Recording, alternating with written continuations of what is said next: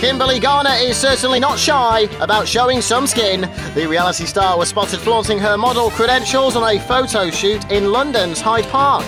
Working with photographer David Bailey's son Fenton, the former Made in Chelsea star wowed in a white halter neck swimsuit and floaty green skirt. With a floral headdress around her blonde hair, the 23 year old looked happy as she whirled around in the long grass.